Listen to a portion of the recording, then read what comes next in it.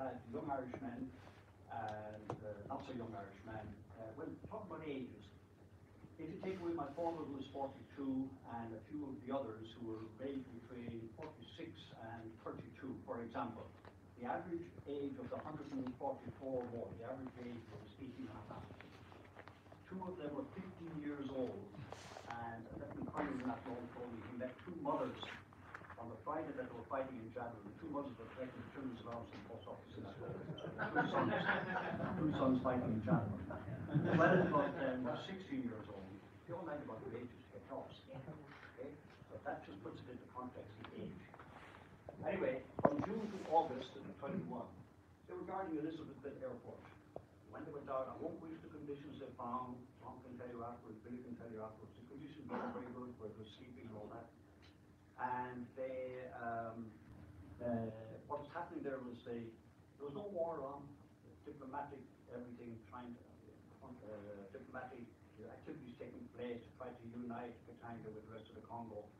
But the Katangese or the gendarmerie, they were trying to control the airport, and a company had the job of guarding the airport, i.e. nudging away, nudging, not telling them to go and not nudging them away. Just all that would be Stopping people coming in and out. Now, remember, tourists are still coming in and out, there's normal traffic coming in and out. Uh, managing an influx of new refugees, this is ironic, was that nine months before the Baluba was still nine Irish soldiers, you remember. And now the Balubas were being exterminated by the kind of army, uh, the kind of genocide against them, tribal warfare, plus everything else. And uh, by the hundreds and even thousands of them, and they were flocking to uh, the area of a company looking for protection under the United Nations. And this was the first time that young Irishmen in the battalion got of, let's say, it as dead, dead and so on, because reading my father's notes, he to have to send patrols out to the bush all around to bring back and wounded police after their wives, children, or whatever came in and said, my father's out there, my husband's out there. And set up a number camps to protect the day company. The Dilolo Patrol, I mentioned the Dilolo area of Dilolo, uh, operational which I'll come to, and the deportation of mercenaries. Now, maneuver refugee camp. These are photographs brought back from the Congo. In 1961, we never in Ireland saw anything like this. And the flat ground all around the place, and the only cover would be the forest, which you see. And the maneuvers were flocking in, uh, setting up camp there, and hovels made from anything and everything. And that's what they looked like. I remember that camp in fact. Yeah. You ran Roaring down. That's right, look at the, the trenches that they found and so on. Forty-two thousand. Yeah. They We were used to, we used to bring them, bring them in supplies. That's right. And we that's it, drove that's the a truck. situation. That's the We should, we situation. shouldn't decide off the truck, that is a bit. There you go. Okay, no, it's all right, Tom, all right.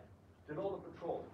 Dilolo, up in Dilolo, there was a minister of the Congo government, not the Frankish government, a minister of the Congo government who was stranded up there with his wife, family, and servants or other civil servants, civil servants. And they were under threat by the local population. And the UN were requested to rescue them and bring them back into safety around Elizabeth. So a company was given the job to rescue them. So what happened was that uh, Captain Dermot Byrne, who was there, the Major General, was with a patrol of a platoon plus, altogether 50 men, were sent up to rescue them. And have a look at the road situation. It's all dirt, dirt track. Could you, Leo, could you, could have a picture, a picture of the Dilolo patrol? All right, well, I have it through them here. You can look at this on the table later on. There's no way I can show it here. But just looking at it here, here you've got uh, Captain Dermot Byrne. I don't know who the driver is. And on the left is Lieutenant Noel Carey, 25 years of age, uh, now an 85-year-old. I think it's 85, it's 24, he's 86 now, still living. He was obviously captain. He's over in Castlebar.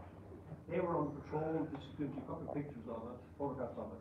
This is an armored car they had, the old uh, Irish, Swedish, Landsverk armored No, it's in Lizzie.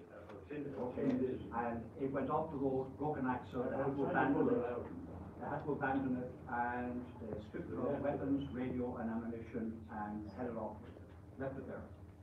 Then the Operation Rum Punch This is linked with the Dilolo Patrol, to give you an idea of the mindset of people at higher level at the time. Operation Rum Punch was supposed to kick off on the 29th of August, the 29th. But, and what was it? It was where they were going, the UN were carrying out the first peace enforcement. They went out to keep the peace, but now they're going to enforce the peace. What they did was, uh, they were to go in and uh, raid Tshombe's personal bodyguard made up of mercenaries, Belgian army officers and NCOs who were left behind to train the Katanga army, and also some of the gendarmerie. They lived in a compound close to the presidential palace, and the idea was to arrest them and deport them. And who got the job to do? A company. So my father uh, walked around the place in civilian clothes with uh, sunglasses and um, uh, cameras, like tourists. He wandered around because they had no information of what was inside the place or anything like that. And as my father explained to me afterwards, he said, he just kind of peered in gates and saw this, that, the other. I said to Lieutenant Thompson, he said, Billy, you take that, Sergeant Miller, our company sergeant, you take that, and that, that. That's how they planned it, as simple as that. There's no, no information. And, uh, he had everything set up for the 29th. And then lo and behold, brought forward the action by twenty-eight days. They, higher authority, brought it forward by twenty-four hours. My father went ballistic, he went to the boss and said, you can't do that. I've got fifty men, a couple of hundred miles away. They'll be massacred on the way back if you, we put in an action here. Even though, I'd rather, they'll be all right, what are you worried about? That was the answer we got, right? But Some people at higher level, they have no conception of tactics, about situation, about anything. So, not getting anywhere with the higher authority, my father took his radio operator, Corporal Frank Williams, and they went up onto the flat roof of the airport building. And my father, with a map and a compass, tried to figure out where might the patrol be in the direction of the Dilolo, Kolwezi, and so on. And wherever he pointed his compass, the Corporal Frank Williams pointed the antenna of his, I think, C-12 set, anyway, radio set. And then they were able to pick up the patrol. And my father sent a radio message in Gaelic, Carver National, I was Bicurlook or an FCA or an Balloch. So sorry, Gerald and other people who were in the FCA, FCA was the code for enemy out there. All around the- the Cormac or FCA or Balloch. So anyway, the patrol, uh, they got the message and they were just bedding for, down for the night near Kolwezi, about hundred and fifty miles away. And they said, something's wrong, we've got to get back fast. And they packed up everything, and they go through the night, and they came to the Lufira Bridge, and they had fifty, and on the Lufira Bridge were ten, a section of the enemy. No battle yet, so there was no reason for them to stop. But anyway, fifty men went through, and they got back into Elizabethville, uh, two hours before Operation One Point Zero. And what did they do? Several road, had several roadblocks around the place. Anyway, Operation One Point took place, uh, the armored car, uh, vehicle burst through the gates, my father was first in, everybody fanned out inside, took all the buildings that they could, and arrested the gendarmerie. Was only one burst, burst of small arms fire over the heads of some gen, some gendarmerie, uh, and mercenaries who were reaching for weapons. They were all arrested, no fatalities on either side, no, nobody injured on either side. Uh, so then, you had the deportation of mercenaries they decided, let's get rid of all the mercenaries that have been arrested, there must have been about forty of them. This will give you an idea of what the mercenaries look like. If you look at these guys here, just look at them. These are all fellas in their thirties, forties, and maybe early fifties.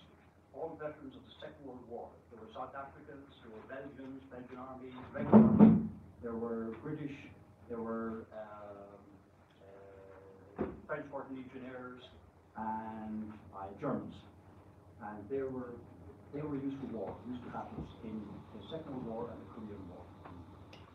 And they were pitted against fifteen-year-olds and sixteen-year-olds. That's then, they were stripped of the uniform, they got into the city clothes, they were marched to Sabena Airlines, and to my father's disgust, in a letter to my mother, he said he was totally disgusted that they got a guard of honor from Swedes and Indians with an Irish pipeline at the end. And, uh, the major from the Indian Army saluting them as they were leaving. So they, they headed off, they hijacked the plane, landed in, in Algeria, and came back two, later with an extra hundred mercenaries to continue fighting. Okay, this is the guy that was in charge of nurseries at Jadotville. Uh, very well renowned fellow, he's held up as a hero in France, he only died in, I think, two thousand and eight. They've been in many, many wars. Okay, the move to Jadotville. Now, it's very important to point out that at the end of August, there was already, there were already two companies of the United Nations in Jadotville. A Swedish and an Irish company, big company from the southern part of Ireland, Southern Command. They were already in Jadotville. They were sent out there to maintain order, protect the white population. Everything above board, written orders before that. They went out and found the whites were in no danger whatsoever. The whites were controlling everything. The UN were not welcome. They took over buildings in Jadotville that were rented by the United Nations. Now, this happens when I was in Lebanon and Cyprus and things like that. If you're going places in different towns and villages, some buildings will be rented by the UN in case any UN soldiers needed to stay overnight or something. That's what happened in Jadotville. But anyway, on the second September, the Swedish force and the Irish force withdrew uh, back to Elizabethville. They said, we're not needed here, the mission is invalid, so they up sticks and came back. Now, nobody knows who made the decision for them to come back, but anyway, they came back to Elizabethville, to the brigade headquarters and the battalion headquarters, eighty miles away. Uh, however, the minute they came back, Belgium, like in the person of the foreign minister, Jean-Henri Spaak, he requested UN troops be sent back out to Jadotville to protect the white population. And he made that request directly to Dag Hammarskjöld, Secretary General of the United Nations in New York. Hammarskjöld agreed to it, gave an instruction to General Sean McClone, the fourth commander of all of the Congo, our Irish general, who was later our chief of staff for the next nine years. He gave instruction to him, and that instruction was passed on to the brigade in Elizabethville, send more troops back out to Jadotville with the same mission. The Swedish and the Indian battalions refused, point blank, to send any more troops to Jadotville. No way. They got the story from the people that had returned. But the Irish battalion commander obeyed his Irish general and ordered a company to go to September. So they replaced three hundred plus men with hundred and fifty-five men. And that's how a company ended up in Jadotville. So over on the third, they moved to Jadotville, no written orders, just go out there and keep the peace. And they had no information about what was out there, how many enemy were called, or John Dunbury, but they were sent to Jadotville. So over a few days, they went to Jadotville. They didn't have enough uh, ammunition, sorry, they didn't have enough vehicles to carry all the ammunition or all the food. They weren't able to carry the eighty-one millimeter mortars, they only had the small sixties. they left already one millimeter more. Exactly. They left every day, so much behind, and they went through three days' food, etc. And because there wasn't enough uh, vehicles, and they went in three different days. Anyway, just to give you an idea of what Jadotville looked like. This is a suburb of Jadotville. This is the battleground, and from the left there, one mile to the left is the town centre of Jadotville. Over here to this side, the O'Keefe Bridge is 80 miles away, and the further 62 miles over this way is Elizabeth. And that is the main road between the two, the city and Jadotville. And it's in there that the, the buildings were, uh, uh, rented by the United Nations. Now, where did I get this map from? This is an interesting story. During captivity, Captain Liam Donnelly, sorry, I beg your pardon, Captain O'Carey as he was, Lieutenant O'Carey then, My command. he, correct, he got a big, he got a big sheet of paper, maybe this long and that high, and he drew the whole battle map. And he drew in day one, two, three, four, where the trenches were, and where the machine guns were, where the mortars were, and so on. And I, uh, copied that onto this, and that just shows you about what it looked like. Accurate, low ground, high ground, whatever it is. So, when they arrived in Jadotville, what happened between the third and the twelfth of September, before the battle started on the thirteenth? First of all, my boss went to, my boss, my dad went to see the boss of Union Miniere, uh, to say, we're here to give you a hand, da, da, da. Propium friendly, we don't want you here. We don't like the UN. They were being jeered at, they were being refused food or drink to buy things in shops and so on. My father went to meet the mercenary leaders, went to meet the mayor, and went into a hotel to have a drink. And the lady manageress of the hotel, uh, would not give a drink until she got permission from the boss of to serve a drink. So that's the attitude that was there. And the white population totally anti the UN. Meetings with the mayor, meetings with the mercenaries. Now, you saw, this is a story that my dad told me. Have any of you seen the film The Siege of Jadotville? Yes. Some of you have, okay? Remember the scene in, at the beginning with the mercenaries in the pub? But what happened was that, uh, no battle on, remember? Uh, the, the could go into the pub, they could, could do this, that, the other. Went in just to suss things out, and he, uh, a book was written about fifty years ago said that the Irish commodore came and he was manhandled and slapped around when he came into the pub by, by, uh, mercenaries. He was. And when he went in, they weren't letting him kind of leave, and, uh, there were ladies present, so I won't mention a few things. But anyway, he was a long time not coming back to camp. Company Sergeant Jack Prendergast, Sergeant Monaghan, Quartermaster Neville, and Private Dell. Harry Dell, I think his name was, Harry Dell. They took a jeep and they went into Jadotville looking to see where my father's jeep would be. Now, the people who made the film knew the story, but it show it like this. My dad was telling me about it. And they found his jeep and they reversed the, the Land Rover back up to the door of the, the, uh, pub and there were sentries outside, and inside lots of mercenaries. And the Prendergast jumped out the side, John Monaghan jumped out the back, the tarp was lifted up, and there was little Paddy Neville behind a big machine gun facing the door. And they went in, and Prendergast said to my father, because uh, my sir, we come to escort you home. My father finished his drink, thanked everybody for the hospitality, backed away, the two jeeps went back to, over back to camp. That's a true story. Uh, So, a build-up of enemy forces around the country. Uh, it was reported at this stage that enemy were setting up roadblocks, both sides of the city, troops moving into position on the high ground a bit north of the position. And a few days before the battle, in my father's reports, he estimated one thousand two hundred of enemy that they could count built up around the place. And a lot more that they couldn't see in hidden ground and low ground. A company then started preparing its defensive positions. Now, I mentioned uh, Sergeant Walter Hagerty. One year later, I was a cadet, age 17, in the cadet school.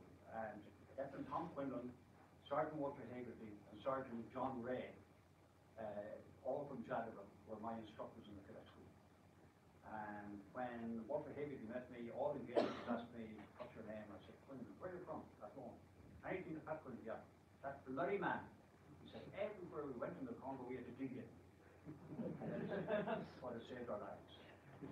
So he prepared defensive positions. Now, uh, you have to remember that none of A Company, my dad or any of them, were ever in any action. And you can't, can't call Operation Rum Punch when they went over the walls and captured people as a major operation. We were never in any action.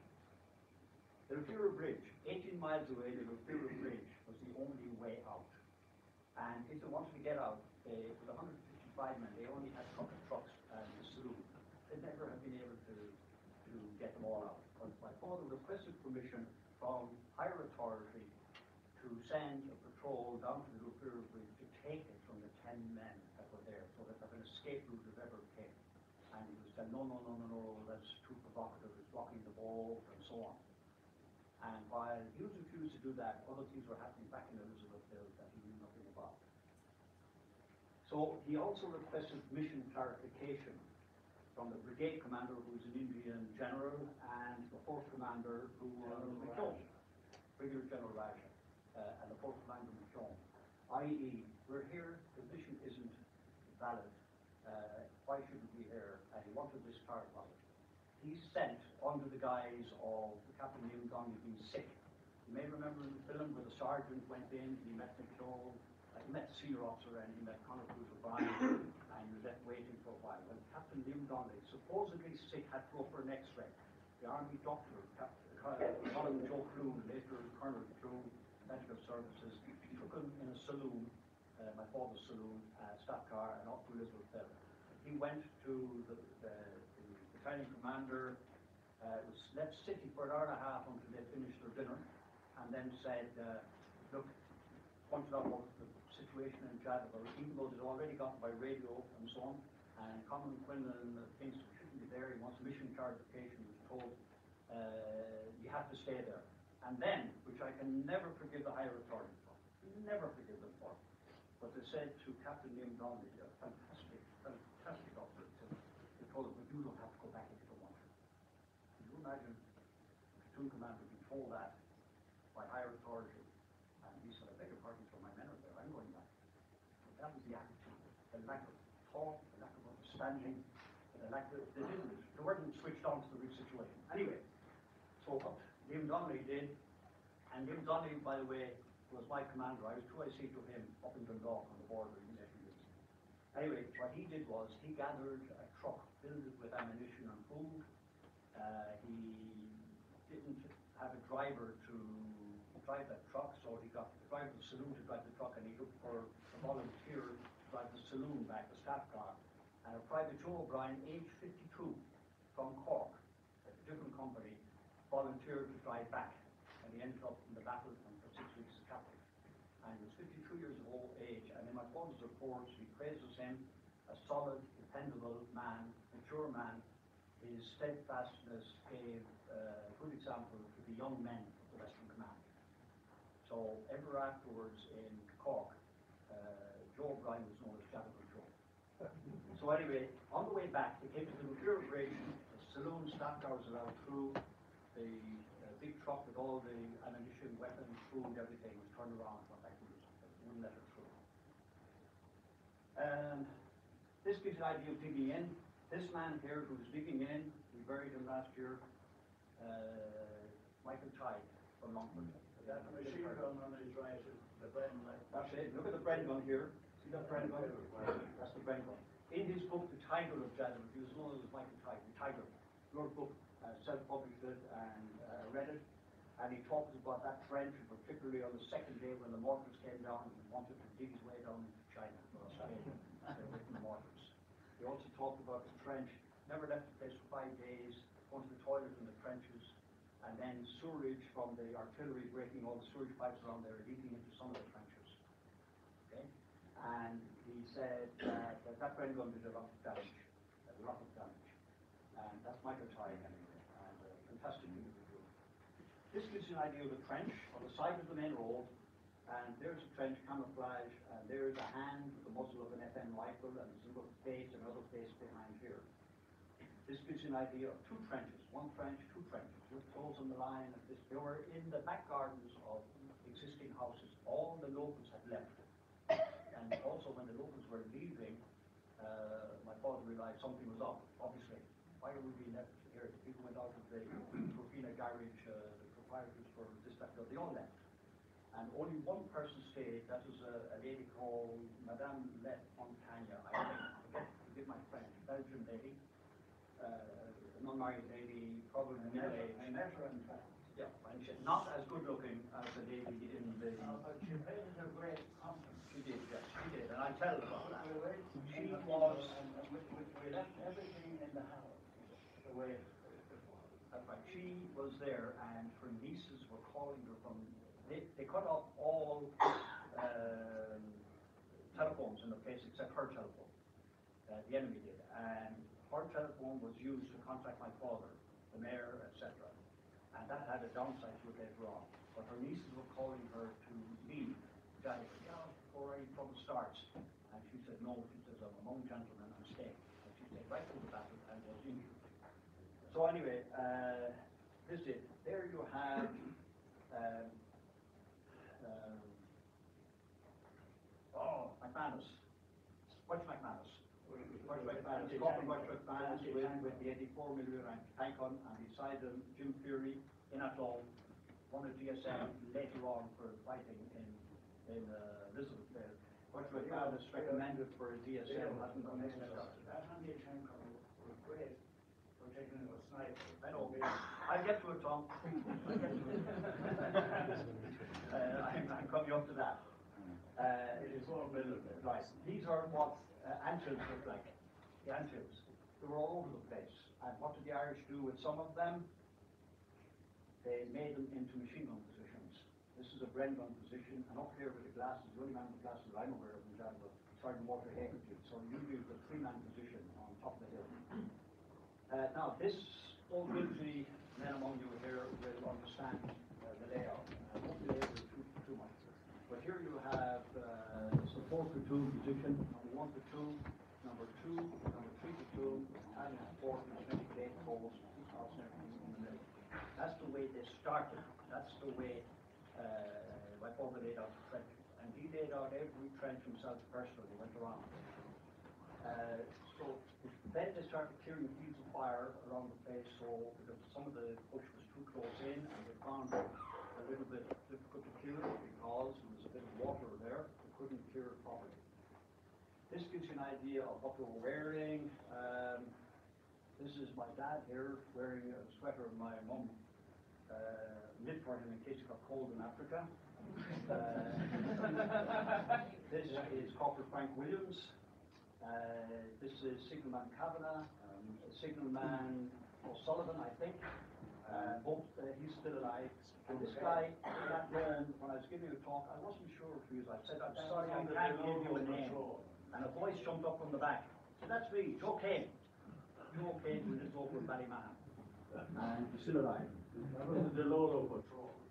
Yes, no, it wasn't. My father wasn't on the Delo patrol. So anyway, Jo- Joe, uh, Joe and, uh, Frank Williams, Corporal Frank Williams, uh, both been recommended for DSMs and agency. This gives you an idea, uh, of what, the, the way they were dressed. That's my dad here, Lieutenant Tom Quinlan, Company Sergeant Jack Prendergast, and I can't name others there unfortunately. But interesting thing about this, they're all wearing the blue UN helmet. That's a helmet. The metal helmet goes on over that. It's a helmet liner. you They never, the they, never got, they never got the steel helmets. And consequently, during the battle, they weren't wearing much. Okay, mass before the battle, every morning they had mass about, uh, seven o'clock, thereabouts. And all, in all the photographs I've seen, all the, up the front, you had my father and, uh, Sergeant Walter Hagerty, it just happened to be that way. And that's Father Joe Fagan of a Westmeath Man, with the company right through the battle. This is the crew house. It wouldn't pass the HSC inspection anyway, that's not sure. Uh, anyway, meanwhile, this is important. This is the kernel to everything that has since happened about non-recognition, about no medals, about everything else. And this is probably the single most important point I'd like to get across tonight. Operation Morthor, the Hindu word smash, was planned in Elizabethville. Uh, what was it? Planned for the morning of the thirteenth of September. And its mission was to take away the voice of President Tshombe at the time, i.e. take over the radio station, the post office, and uh, newspaper offices. So he had no voice to talk to the people. Planned for the morning of the thirteenth of September. But they never telling anybody in Jadotville about it. They never told anybody in Jadotville.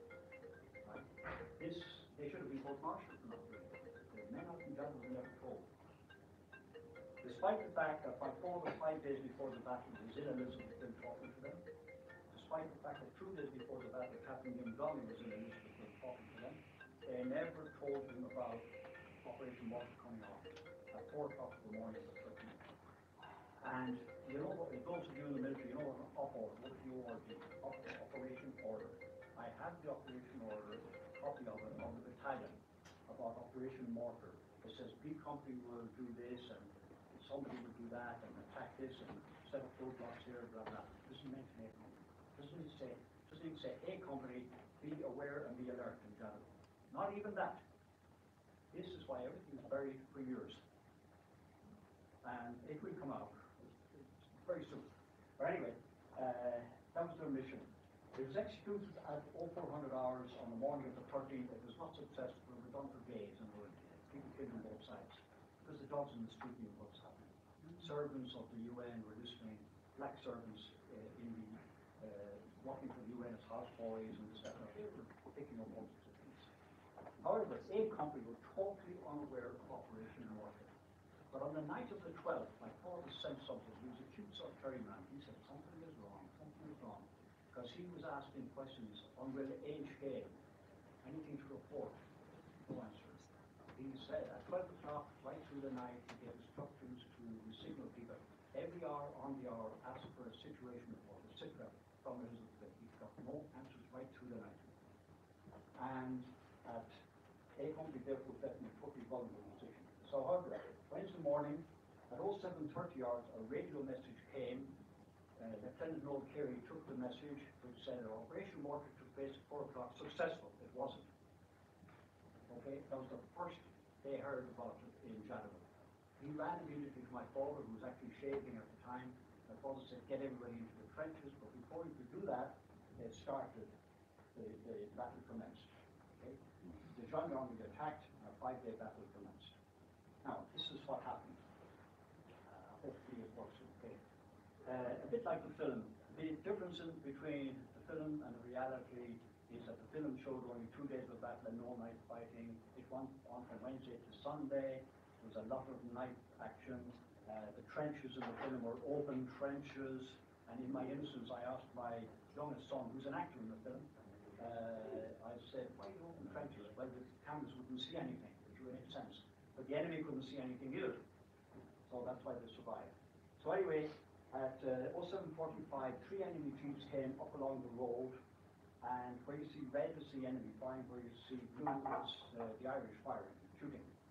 And what happened, Private Dell was on duty and he saw uh, a Gustav submachine gun, and he opened fire at a couple hundred yards. He didn't hit anything. The fact that he opened fire alerted Sergeant John Monaghan, who jumped behind the biggest machine gun, overturned the first jeep and knocked it out, and the uh, uh, the enemy then couldn't get forward. And at the same time, there were there was enemy trying to advance through the bush, but they were because the fighting had started, because they were warned, everybody ran away from Mass into the trenches, and the fight started. So that uh, a one-hour fight took place.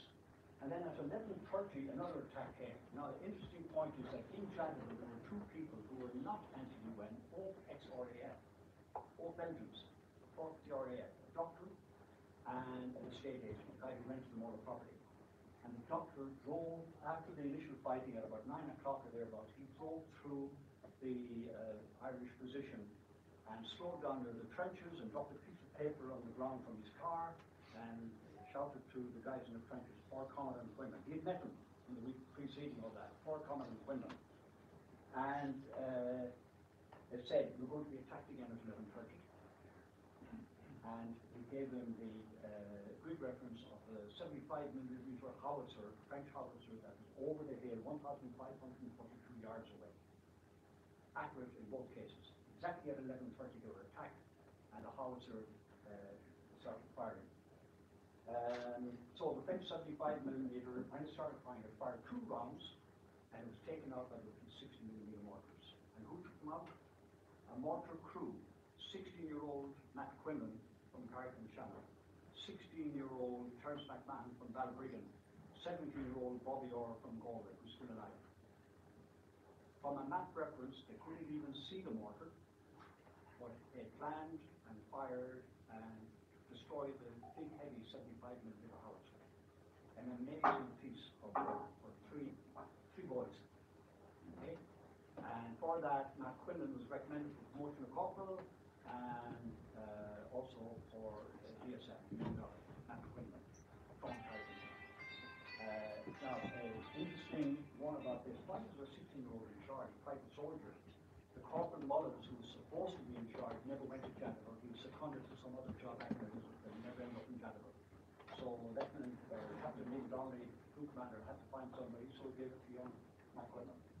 And the three Quinlans in Jadotville were no relation to each other, unless you go back to tribal stuff.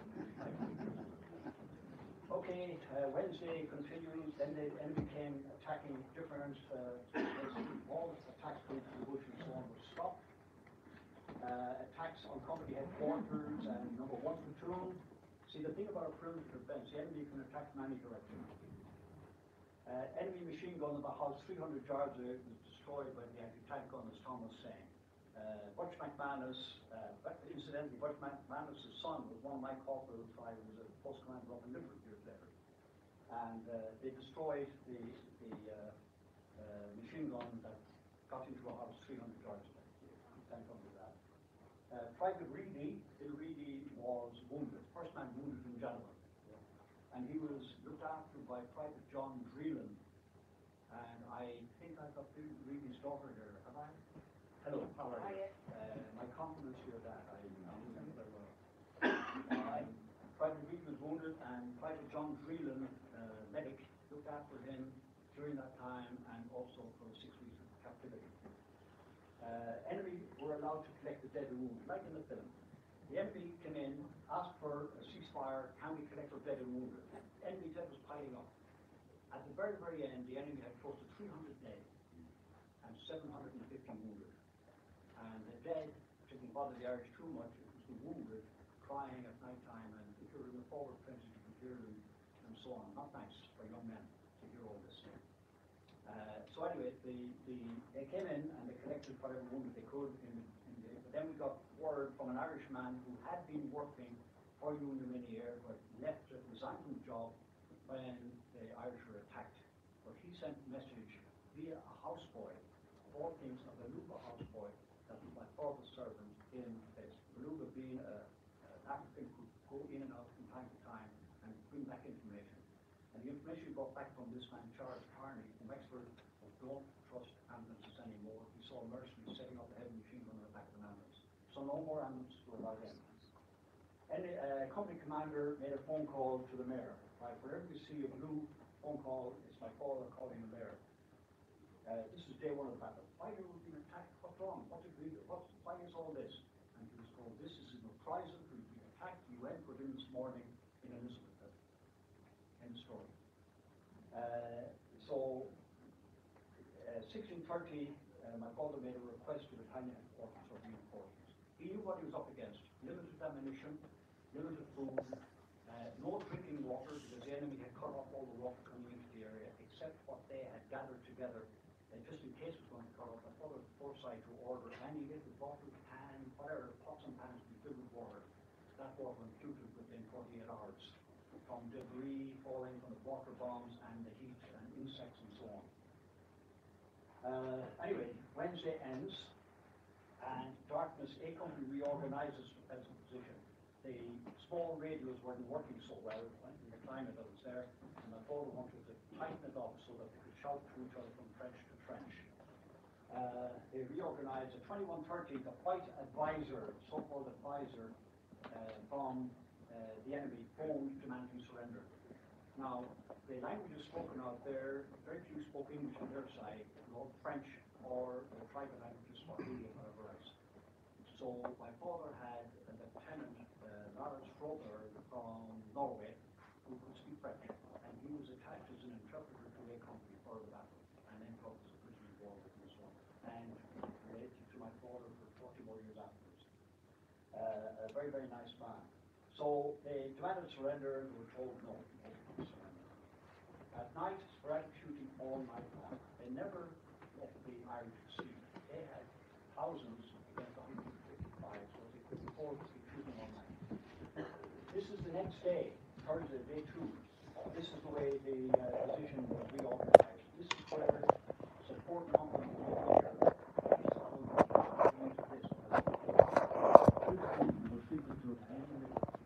Our company headquarters, the armored cars moved up and down, and then our two armored cars that they had, giving support as a mobile reserve whenever it was needed.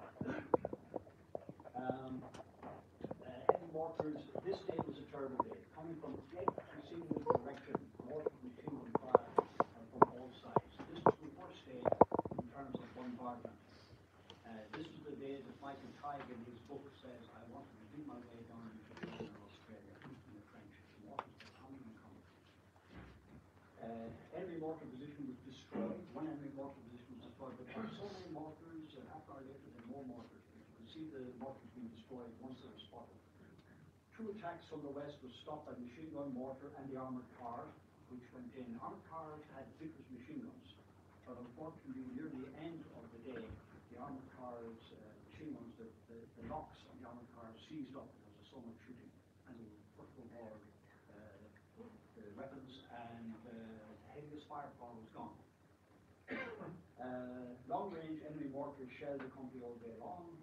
Just to give you an idea, now, any of, any of you that's been in other countries and have been inside the this is nothing really, but this is just photographs sent back of machine guns, uh, fire hitting the, uh, the building, one of the buildings at the Irish. Uh, Thursday continues, uh, twelve hundred hours, a Fouga jet arrives directly over company position. The Fouga jet carried two bombs and machine guns, two hundred wing bombs and machine guns. This came in directly to see what was what. Uh, thirteen hundred hours, the attack on the Fear was unsuccessful. At this stage, uh, the first column had come up from Elizabethville towards the Material Bridge, could not get across it. And Indian, nine Indians were killed on the way up and back. Were Indians and Irish, and maybe some Swedes were in it. Uh, it was a bit of a disaster, the whole thing. Uh, when they came they couldn't get across, and what they did was they turned around and back to got from the. Because what happened they, came back, the enemy came across the bridge and moved six miles down towards Elizabethville, so when they come up again on Saturday morning, couldn't get through six miles. That's a totally another story. I'm not decrying or denigrating the bravery, they lost men, they tried to get through the bridge. Uh, the troop jet bombs and strats and two Irish rangers. Now, what were the injuries? The rangers were fighting buried alive. The trench was caved in on top of them, uh, I think one of them was a, um, an ant in a collapse on top of them. One of them is still alive, I know him very, very well, there in Dorking, in Roscommon. Uh, Jimmy Tahney, small little guy, Jimmy Tahney. And when he was a prisoner of war, what's his name, came to, um, uh, Chumley, visited them, and he said, "A beer for the youngest man, the youngest soldier, Irish soldier." He said, "He's nineteen years later, working the young, beer." And anyway, Jimmy he was dug out by Sergeant, uh, his, uh, Police Sergeant, John Monaghan. And he told me afterwards that everything was red. His hands were red, his clothes were red, the sky was red, the grass was red, everything was red from the pressure. And it took two days before the redness went away and he could see properly, and then he said, I wanted to get the bath. So, the came again, it did damage but no casualties. What it did this time, the damage did, it made bits of the two trucks that the Irish had. So the Irish, who probably wanted to escape, had to walk. Uh, Irish mortars and machine guns were now running low on ammunition. And this gives you an idea of what the two jet bomber looks like, and a couple of them up in the Air Corps, uh, some years later, and have them up now in the Air Corps Museum. J2 Thursday continues, uh, they captured two mercenaries. Bombardment from top on the Irish trenches was so severe that, that, um, uh, nobody thought they would be alive. And two mercenary officers casually walked through the Irish position and the Irish took the trenches and that rested. And they were with the Irish for the next three days through the fighting. And they discovered from the mercenaries that each mercenary was paid twenty times more than an Irish lieutenant. Uh, which meant, that which kind of explained why they were there. Sergeant Walter Hagerty was wounded by mortar fire. Sergeant Walter Hagerty, thir- 29, 30 years of age, going from trench to trench, checking on his men. Uh, he heard the mortar coming in. If anybody's been under a mortar down South Like that, when you hear that whistle, you know it's coming near you and you've got to get covered. So uh, he uh, looking around for somewhere to hide when he heard the whistle, and he saw a little dip in the ground. He threw himself face down into it, and the mortar exploded 20 yards away. Unfortunately, his backside was sticking up, and got chunks sticking out of his backside and his leg. And in the messages home, I played to the families and so on later on when the prisoners of war, he said uh, about his war wounds, that nobody's going to see my war wounds. uh, an Irishman in Rhodesia, radio messages.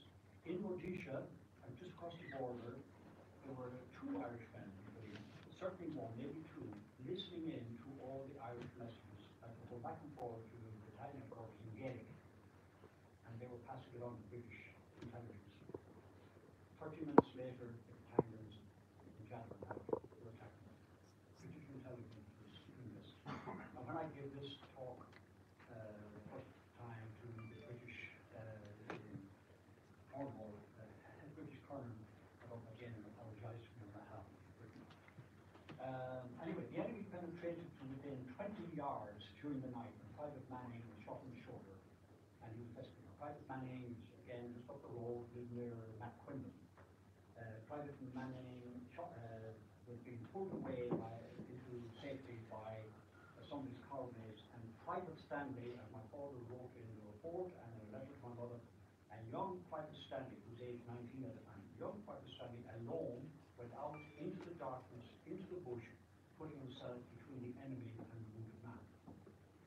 Private Stanley was the GSM, didn't get. Later, Private Stanley and I were on the same ranger course. He was a sergeant, I was a captain, and he was retired from the army. I was retired from the army, and I didn't even know he was in Gallagher. Until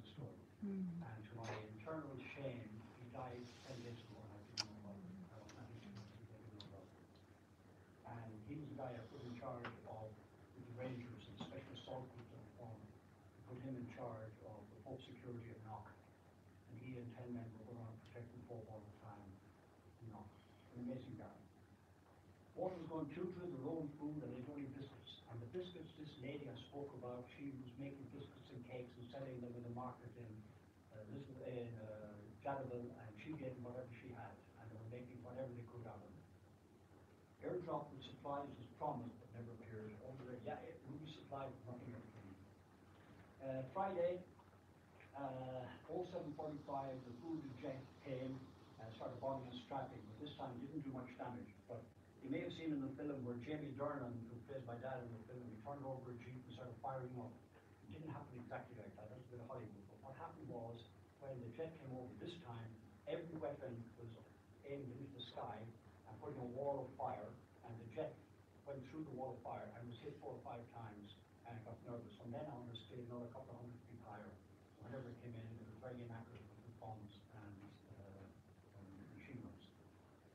Uh, machine gun attacks on the company, enemy snipers, again, killed by the same anti-tank gun that uh, a few minutes ago. Uh, phone calls demanding surrender. In this case, the phone call was kind of, uh, we have the mobs, in the native mobs in the village, they're coming and going to eat you. And the answer was, sure, let them come and give them indigestion. Uh, water was, water was undrinkable, heat, sewerage, insects, battle fatigue was setting in.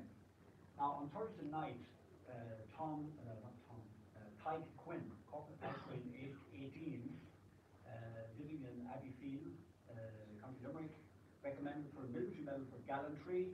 He told me, your father came around to me at eleven o'clock at night in my trench. He came at one o'clock in the morning. He came at three o'clock in the morning, going to trenches all the time. And in a good Kerry accent, he said, Christ, Quinn, boy, he said, will you ever get a little sleep? And he telling me to sleep when he's not sleeping himself, you know? So it's nice for me to get this anecdotal stuff back from veterans, you know? It gives me a better understanding of my dad as well. Uh, the town headquarters message saying that another relief column will come the next morning, i.e. Saturday. Uh, six, eight to ten attacks on the company during the night. They never slept. They never slept. Okay? Uh, then this would be, this is the house that the lady that I spoke about was living in. When my father, this is where the downside of the phone call. They called my father to the phone. He went to the phone. They knew what house the phone was in, and when he was talking on the phone, they mortared the house. And he heard the mortar coming. He threw the lady on the ground, lay on top of her. The mortar exploded, with splinters and shrapnel went all over the place. I fall on top of the lady, not touched. The lady I had bad damage done to her legs. Uh, she was looked after by the Irish when the battle was over. She had a nervous breakdown, went back to uh, Belgium, and three years later came back Congo to continue her life. My father tried to get her uh, a UN pension, but was ignored. Uh, Saturday, uh, back, uh, the reinforcements again on the way to Lufira, Lufira Bridge, 18 miles away. The UN helicopter lands. It brought water and mail, letters. It brought 20 gallons of water for 155 men, no ammunition, no food. Uh, very brave pilot and co-pilot, uh, Norwegian Swedish, all lights flashing, oil leaking when it came up. My father said they were of the bravest men he ever met, and they landed under a hail of gunfire and shot to bits when they came down. Seventy-year-old Private Henry from uh, Mayo went out on his own, helping them under fire, helping the pilot and co-pilot to safety. For that, he was recommended to the Military Medal for gallantry, never got it. I can tell you later what what happened to him when he went to Australia, uh, when he went to South Africa and New Zealand. Uh, anyway, um, the water coo- was undrinkable because it was put into jerry cans that had been uh, lined, lined with petroleum jelly, so the water was undrinkable. Uh, the mail is very interesting. Uh, Tom Gunn got, uh, I hope I got his gender right, Tom Gunn got a telegram to say that he had a new baby son at home. That's James. Here He's I am. here. Here he is. Hello. You're the baby son? Yeah, I am, yes. hi. Actually, Yeah. Yeah, but Yeah, I got a we thought James was a girl. I was classed as a girl, so I got a lot of girls' clothes. There you go, there you go, so it's you. Yeah, Uh, Yeah. Tenth of So, Yeah. um, that kind of thing, and let me know, Kerry got the book, uh, Bill Thompson, the Lord of Six months. Yes, as they the said. big girl, the big girl. Uh, enemy information water pollution spotted and destroyed. Now, this is an interesting one. Uh, this is Corporal Pike Quinn in the second water trench. The first water trench was at Quinn, and the second trench, maybe twenty yards away, was Tom Gunn with his other two. And Tom Gunn spotted the heavy mortars of the enemy playing ahead with the Irish positions. And in the film, you might see where the small mortars blew up their big mortars and their ammunition gun. So that was Tom Gunn. And they destroyed it. Um, enemy requested a ceasefire. Now, this is, this is determined also to the whole thing. The enemy requested ceasefire, not the Irish. The enemy were losing so many that the officers, the mercenary officers, and sixty mercenaries died because, uh, there were sixty coffins sealed and got ready when they were prisoners, and the whites were the only ones who got coffins. So we heard afterwards that sixty whites, mostly mercenaries, were killed. Uh, and they were finding it almost impossible to get the gendarmerie to attack again, because we're losing too many men. So they requested a ceasefire, and my father spoke to the officer commanding the gendarmerie, not to the mercenaries. He didn't trust the mercenaries, he spoke to the officer, the black officer commanding the gendarmerie. And ceasefire was agreed that the gendarmerie would withdraw from around a company position and go back to their barracks. That joint patrols of Irish and gendarmerie would patrol the area to assure everybody that hostilities have ceased. Can you imagine the surrealness of this thing? That they're killing each other for three days, four days, and now they're going to a joint patrol? tell everybody, look, the battle's finished, we're friends again. That, that, that did happen. Uh, unarmed police and Irish troops would form a cordon between A Company and the town of Jadotville to keep sightseers away. The rich people in Jadotville were saying, what the hell has been happening out there for the last few days? They want to come out and see. Like in the American Civil War, the rich people came out, of the pirates sat up in the watching the battle taking place in the valley. Water turned on in A Company positions. They promised that they couldn't do it because all the piping was burst and broken with the artillery. Uh, police chief and A Company commander, my dad, would tour the town to assure everybody that everything was all well. And the troop would just to cease, operations and remain grounded. Uh, water relief column at Bridge was unsuccessful and returned to Lisbon. This is an important point. Uh, a phone call, uh, not a phone call, my father, radio operator, intercepted a call from the Lufira Bridge to battalion headquarters saying, we are putting in an attack on the bridge at ten o'clock. If unsuccessful, we must return to Lisbon. When my father heard that, he knew they were going to be successful. They went into it knowing it was not going to be successful.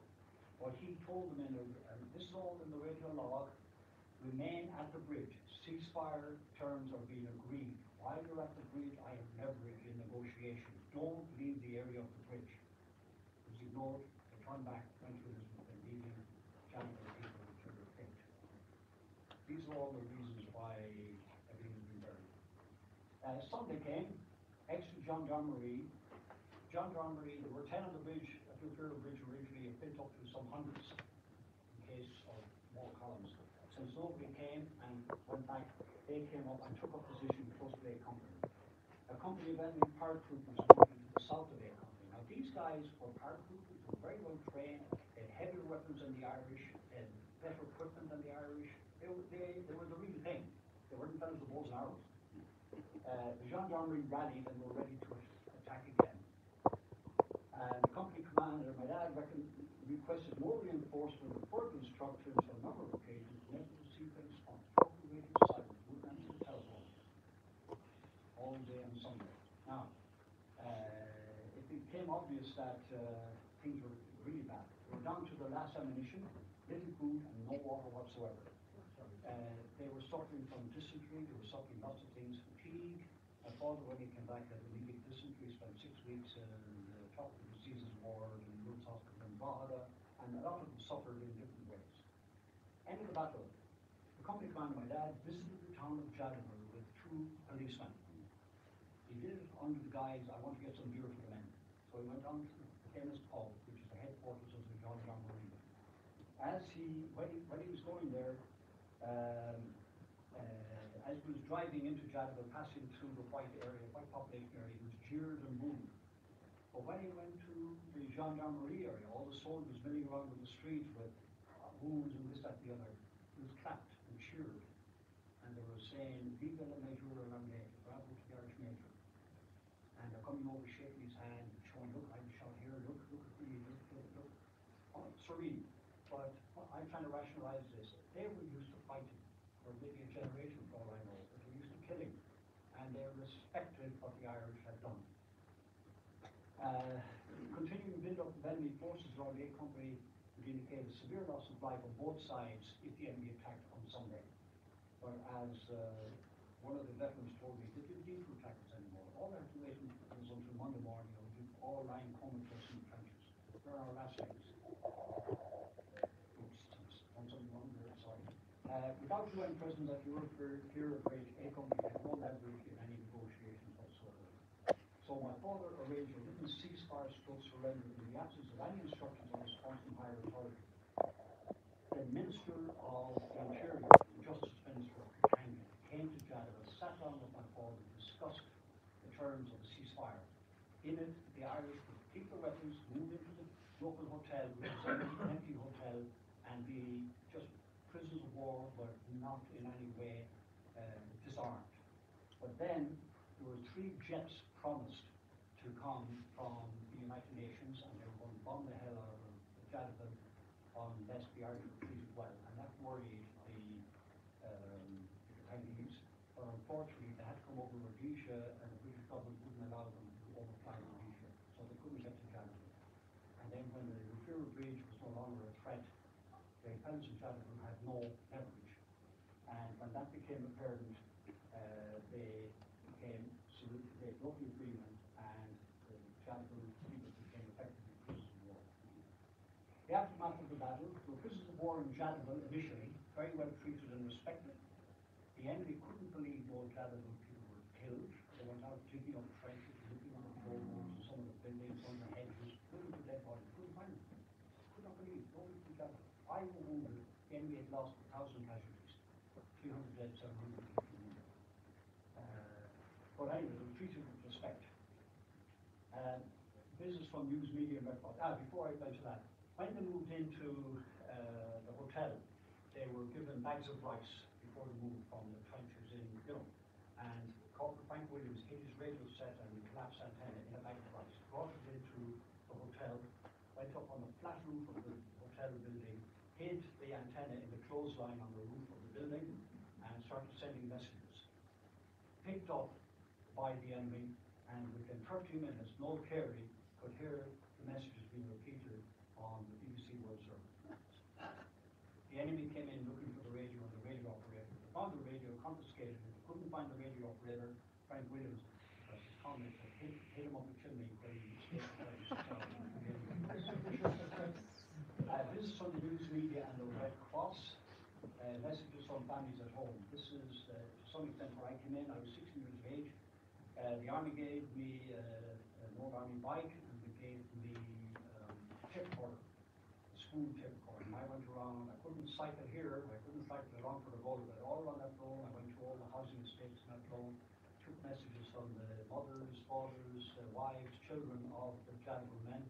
Uh, message would be two minutes long and so on, and, uh, I sent it out by the Red Cross to them in prison camp with a big sheet of paper saying, Dad, number one was Mrs. McKay, and number two was Mrs. Bond, and three, twenty, et cetera, et cetera, et cetera. And then a few weeks later, I got it back from my father, he taped over my tape, and with the letter, Leo, go to Mrs. Prendergast first, Mrs. Bond, and two, blah, blah, blah, okay?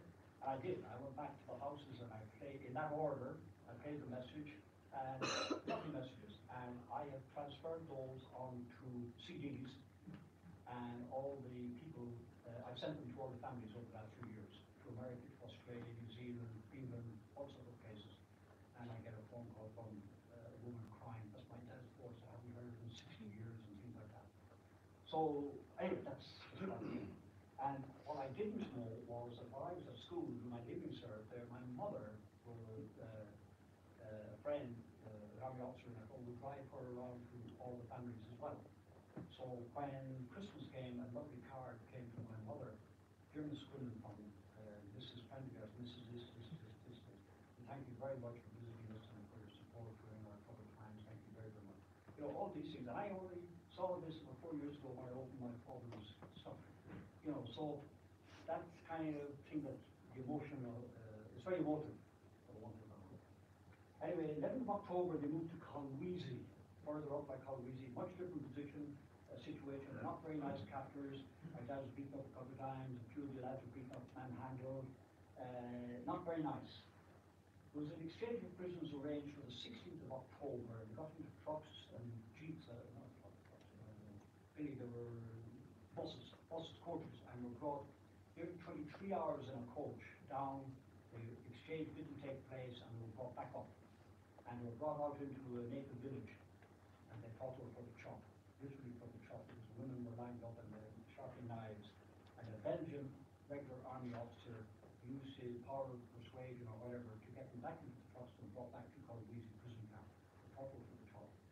So, there was another, uh, plans, plans made for escape attempt, because if we go over the next time to the exchange and we're not exchanged, we'll definitely get a chop. And the plan for an escape Tom we to tell you how they trained to use a garrote to kill people, homemade knives and so on. Tom was told to take out, they knew the, the way the buses would be, where the driver would be, where the sentries would be on the bus. And they were going to take it on the way back and overpower them. And we were going to do was at uh, a railway yard, and one of the company was an ex-train driver, and no matter where the train was facing, they were going to take it and go. If he ended up in Nairobi or whatever. Anyway, October came, the of prisoners, it was successful. Interesting thing happened, as I was told a couple of years ago, by one of the veterans, when the exchange of prisoners took place, um, uh, the Cruise O'Brien, Colonel Cruise O'Brien, and you can imagine hundred and fifty-five Irishmen looking pretty grim and gaunt and everything, all lined up at attention. And Cruise O'Brien and the battalion commander came along to shake their hands. Every one of the hundred and fifty-five men put a hand behind the back. Yeah. They would not shake hands with them. Because right through captivity, we were discussing all this thing, and the radio man, there there were three radio operators, corporate and two privates, they were privy to all the messages back and forward, non-answered messages, they were talking about us, they knew exactly where they were hung out to dry. Uh, and that happened, and the other thing that happened, and I won't mention the name, but my father hit somebody. And, uh, won't go into too much detail, but two veterans told me they, the father had him on the ground, his hand on his neck, he said, if any of my men had died, I'd kill you now. Right. I won't say who that was. Uh, action was took up Petro, twelfth of December, they were rearmed and back into action, uh, pretty fast. And on the twelfth of December, Soko Petro was, uh, let's say 15, 18 miles outside of Elizabeth,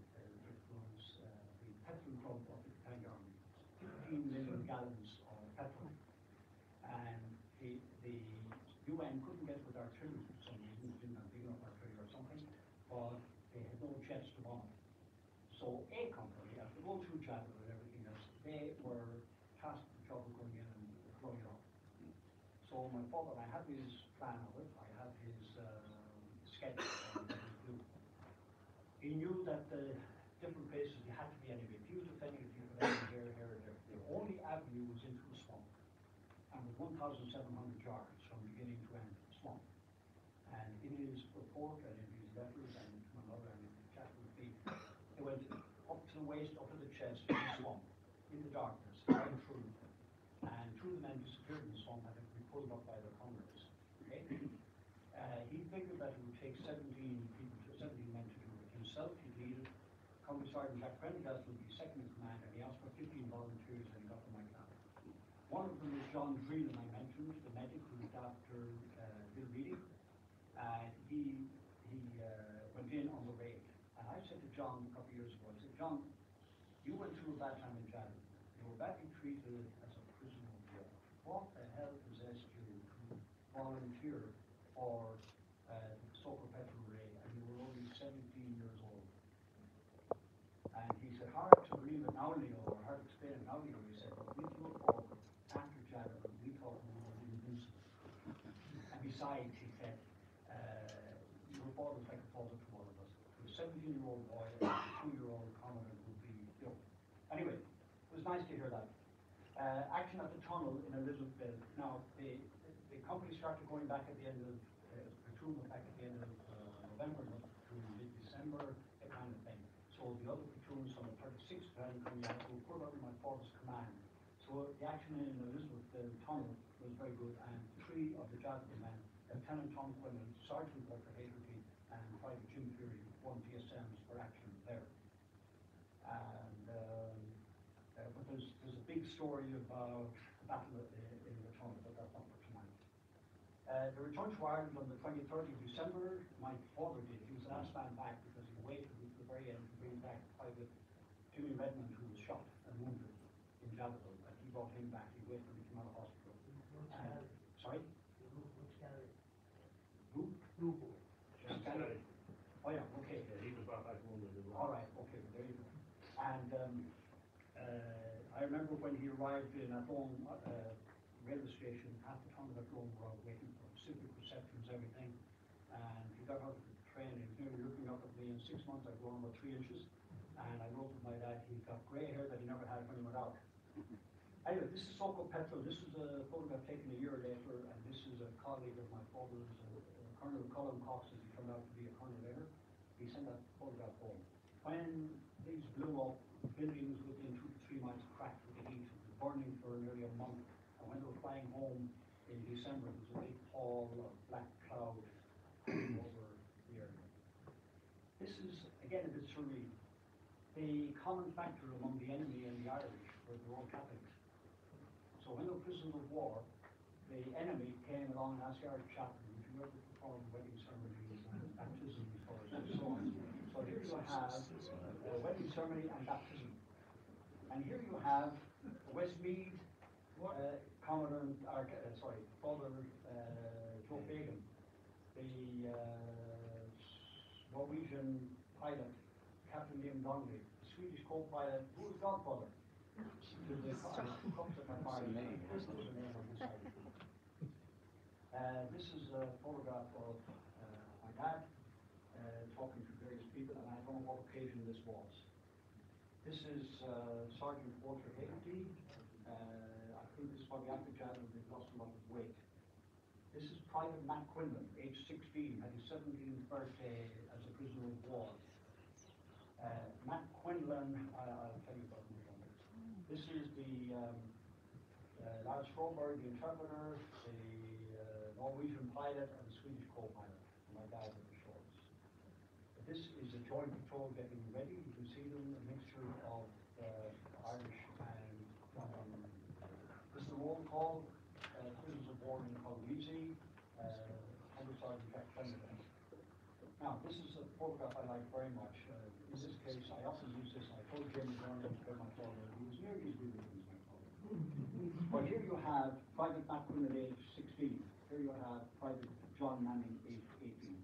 The two of them met each other in London, uh, about a year later. Macquillan headed off to Australia blew his brains out in Australia some years later. Uh, Private, uh, John Manning went to London and killed himself at the age of twenty in London. Two of five suicides that we're aware of, but they're the only two I can name because on family reasons and it's in the public domain already, I won't name the others. And recently I heard it's closer to nine that killed themselves. And then you had all sorts of things like excess drinking, broken marriage, broken relationships, true mental and mental conditions, et cetera, et cetera, et cetera. And that's all now in the whole area of the outcome of Jadotville, moral injuries, which I'm involved with, with the US Army War College, and the Usami Veterans Associations and so on. That's a, a story for tomorrow. Uh, this is later, just a few photographs. This is a company briefing, in the rainy season, everything is wet. This is before the went into action in the tunnel later on. It to show you how the public were. I like this one for two reasons. This is my dad and Company Sergeant Jack Prendergast in the battle vest, talking to officers looking very clean and neat and tidy, obviously from headquarters. And one officer pointing in one direction, my father pointing in the opposite direction. Of course he is. He always went against everything else. The one thing about all those photographs, all of them, in the lovely uniform. I know, those, those. Uh, Excuse me, I have real photographs. Okay, This is a, but they are real photographs. Anyway, the but- the other thing, Tom, I like about and by the way, uh, only officers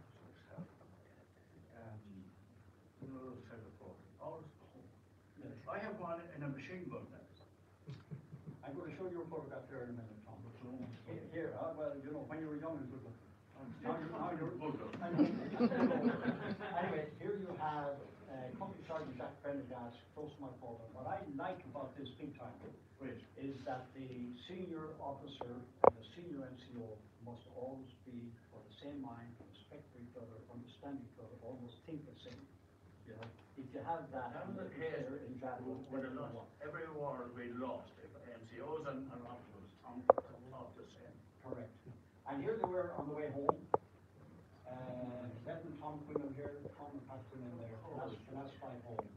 The after, after Jadotville, Veterans Day attempted to get recognition since sixteen one, police books written about Jadotville. It won the radio documentary in two thousand seven for RTE US documentary, two thousand and nine, formal recognition with the plaque in thousand and eleven, it won the IFTA Award for Best TV Documentary. Two thousand and sixteen, unit citation, and followed by a Jadotville I Medal. had my citation, Two thousand and the only sixteen. time in the history of the Irish Army, so that we give a citation. Well, you got one. And then then the siege of Jadotville came in two thousand and sixteen, uh, that opened up everything. Nurturing. And there's been a case history in various armies throughout the world, keynote presentations, armies, organizations worldwide. Oh, yeah. I told you everything from the International Police. Association to, to, um, British Legion, uh, to officers from seventy-five different countries on Zoom with me and so on. And the last item item outstanding is to get medals for the three officers, thirteen NCOs and fifteen men that were recommended for bravery, as distinct from the Jadotville medal, which everybody. Uh, sorry. I have a, a certain time.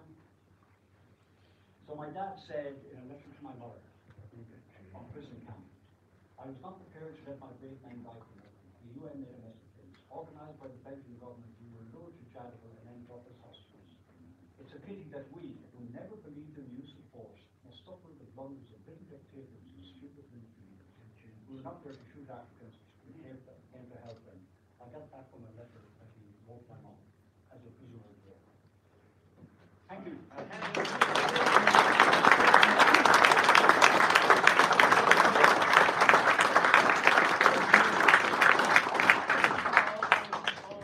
when I was taken prisoner of war, and, uh, thirteen, and my wife was expecting, uh, so I went out, and everything was taken prisoner.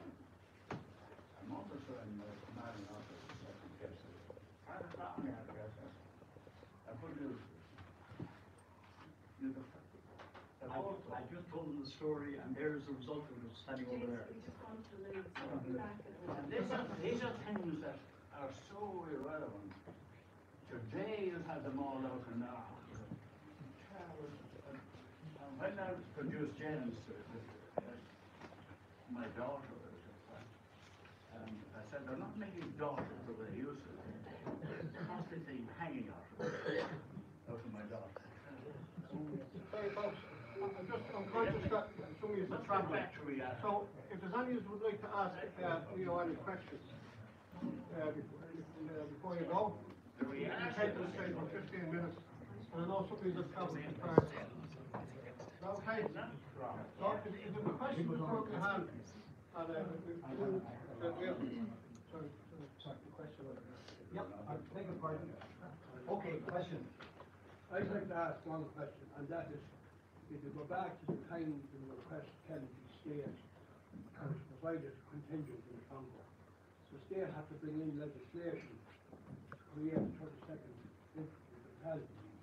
And I just wonder, you know, had the state got that interest in what was happening, in the fact, in the sense that a battalion had to be state, and legislation had to be put in place by the state, contingent for the, for the Congo. And if you look at twelve one, as I read it anyhow, and Colonel Cruz Ryan, and all that happened in that period of time, was people who were, Do you know the history of the Belgian Congo? I, I, I know the history of all that was all about Sure. and and all that. And Oh, Leopold. it was wrong on both sides, but, uh, it's interesting to see that, you know, one point we were making there when there was a, a guard of honor, We do put our And I hands just behind, wonder- all things, but. You're putting your hand behind your back to someone It's who would have, gun, was who, someone who would have some kind of a say in decision making with regard to who would get a medal, who would, you know, and I'm just curious to know what your views on that is.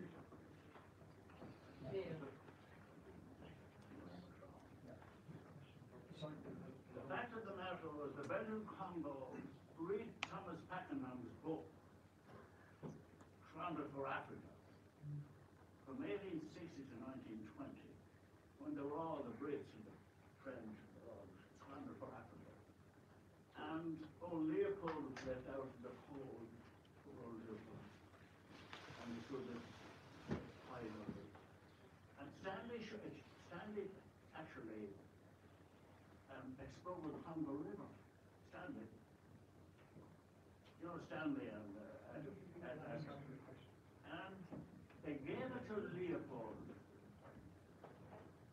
They gave the Congo, they, they, they shut him up. When they should have been, Sorry, would you repeat the last part of your question? The last part of my question I'm trying to tell you about the history of the Congo. is, when was a, a guard of honor provided for a certain person, the troops put their hand behind their back? It wasn't a guard of honor, no, it What? was, no, it was when they came back from Jadotville, Yeah. release of prisoners, Yeah. and the prisoners were handed over, and they were formed up under, with There was publicity, with concerned that they were. Yeah, and the Cruise O'Brien and the battalion commander came to shake hands with everybody, welcome home, and they refused to shake hands. They ignored for the. Sorry? They ignored Yes, break. and the battalion And commander, I'm just which is even wondering, is that one of the reasons why to this day was no uh, recognition for a medal? That's the kind of mindset. Well, it, no, I tell you, It's only part of a link in the long chain. Yeah, well, look, there's a, there's a situation here. Uh, all the things I've told you there about not being told about Operation Morthor, not answering the radio, uh, not doing this, uh, turning back to the Field Range and so on and so forth, leaving the Jadotville men to their fate. A few years ago, I was involved with the United States, uh, Law College in Pennsylvania, uh, giving talks on Zoom for hundreds of army officers from hundreds of countries, from Lieutenant Colonel to Brigadier General. Imagine a colonel from Afghanistan asking me, during a two-hour session about this, that, and the colonel from Japan, Colonel from Prague, that kind of situation. But the US War College, as a result, wrote a paper on the whole thing, which I had given to our powers that be. And basically to say, in the final, they, they were saying that uh, United Nations operations at the moment are fraught with all sorts of uh, low morale, low training, badly uh, funded, and so on and so forth. And we need to get back to the principles of leadership, bravery, integrity, as displayed by the people in the Battle of Jadotville. Okay? And then said in the final summing up, it said, uh, and I'm paraphrasing, it said, the fiasco that was the Congo in 1961 if any publicity had been given to a company of Jadotville, it would have tarnished the reputation of the Irish Army and the United Nations. Consequently, the Irish authorities swept this brilliant defensive action under the carpet for decades. That is it in a nutshell. Tennis. O'Brien. May I- Brian, what? Excuse me, may, I? Sorry, Tom. I'm not, I'm not, sorry. Now, that's the reason why. Conor Cruise O'Brien allowed that to happen. Yes.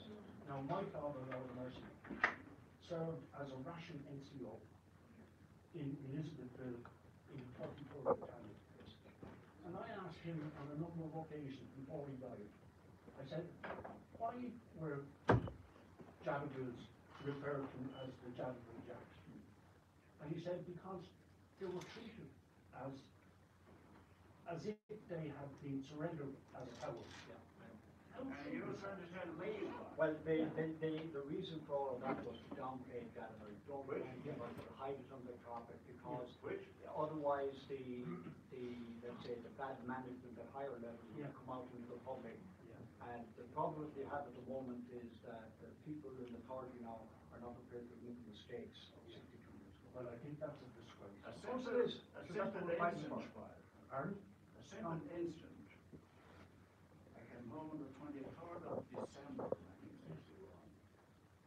wonder um, ways.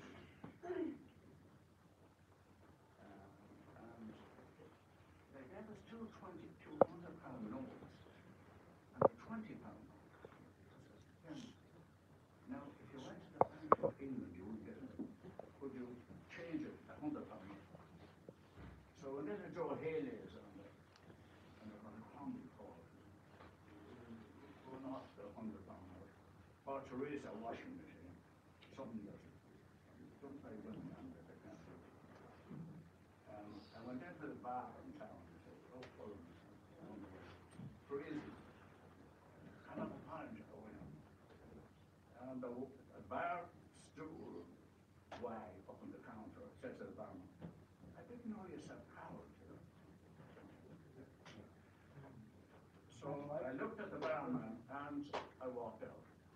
And against that, we were honours by real people. There was a doctor here, Dr. Winkler, and he brought us all to a hotel. We had a meal in it. So the point I'm making, you cannot compare the good or the bad. Dr. Winters and people, and you'll always have the, I'm proud of that. Well, I've the utmost admiration for you. Pardon? I've the utmost admiration I'm you. telling, I'm telling you the truth. Yeah, I know that. I had a number of glasses of whiskey with you down through the years. We tried bars. Yes. I wouldn't, I. But I've won young You Reedy. that picking by the- Where's young Reedy? But, I don't ask you a I question, admired your Okay, father. He served as a, as a fitter In the second field lesson team, or sorry, the fourth field lesson team. I served as a young lieutenant in that unit, and I closed it down in nineteen ninety-eight. And I met your father on a number of occasions, but I didn't realise who he was or where he had served. Until Noel Graham, Lord of Mercy on Noel, Noel told me he went out there as a driver with your father as a young bit, bit of private. He's still alive, you know. Okay, I, I, so the question here, yes, Anything, uh, the Belgian candidate, he had right to vote the Belgian commander, the, the mercenary, no, but other mercenaries broke up the Hans Hotel and other things like that, and in it they described that. But you must realize, excuse me, in nineteen sixty, the French left Algeria, de Gaulle, they wanted, and the, the the Foreign Legion, he disbanded, de Gaulle disbanded the, the Foreign Legion in nineteen sixty, because Algeria was trying to get its independence And they all came down to us. We had Poles, English, one old Irishman, four, and a lovely well taught lads. Lovely moves, lovely from the stop and so. And old, old, I had a machine gun that was the first one of it. You know, York. And they were, they always passed around and we were taking the piece of, went back and looked at it. No, it looked like a fire. We replied our jet. Fuck you and your French Foreign Legion. We are Irish. Okay, any other We- questions? we I can't might- ask you, uh, I'm being vulgar. I'm a soldier on vulgar. They thought that, that, well, um, little sixteen year olds on machine. Yeah, they, they got me.